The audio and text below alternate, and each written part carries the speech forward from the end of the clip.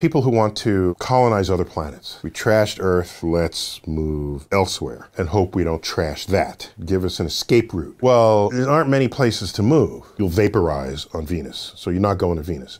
Mars rotates once every 24 hours. It's tipped on its axis, as Earth is, which means it has seasons. It has polar ice caps, the way we still do at this moment. And there's evidence of running water on its surface. So there's a chance we could terraform Mars. You turn something that's not like Earth into something that's like Earth. Then you just move there. So here's the catch. If you have the power of geoengineering to turn Mars into Earth, then you have the power of geoengineering to turn Earth back into Earth.